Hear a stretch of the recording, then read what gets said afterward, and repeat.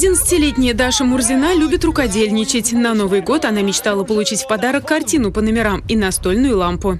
Я люблю шить, рисовать. Игрушки шью. Позавчера шила две подушки.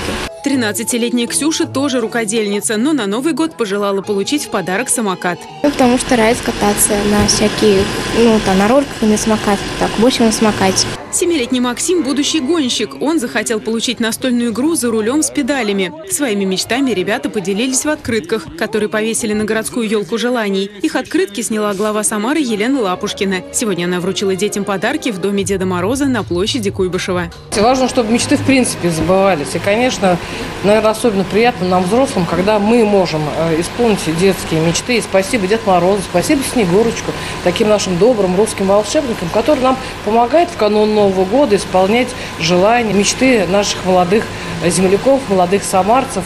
Я даже не знаю, кто больше рад. Вот я или дети, которые сегодня здесь встретились с Дед Морозом, со Снегурочкой, чьи желания исполнились.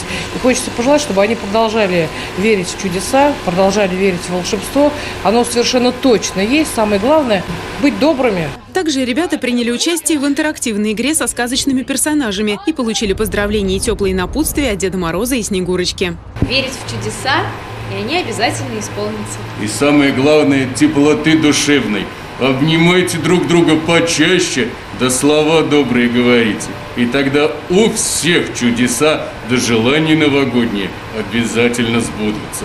Виктория Шара и Николай Пифанов. События.